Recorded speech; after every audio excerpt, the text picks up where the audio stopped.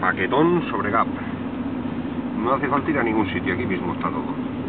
Ya nos hemos enterado que en Donosti también ha caído. Y temperatura menos 3,5. Sí, el típico bar tabac, eh, gabacho, eh, bar tabac, terras bulodrome, que será, no sé si será eso.